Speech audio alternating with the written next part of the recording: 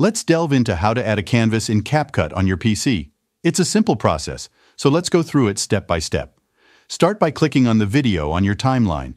Now, at the top right, under the Video and Basic tabs, scroll down and find Canvas. Check the box to the left of Canvas to activate it. At the bottom, you'll find a drop-down menu where you can choose between blur, color, or style. However, for any of these options to be visible, you'll need to resize your video in the media player to be slightly smaller than the entire media player. Click on the video in the timeline and use the little white dots in the corner to resize your video.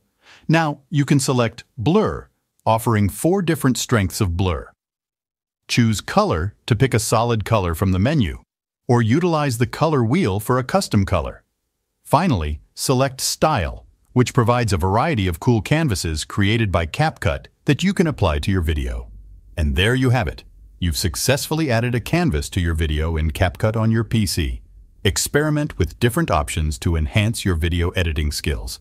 Thanks for watching.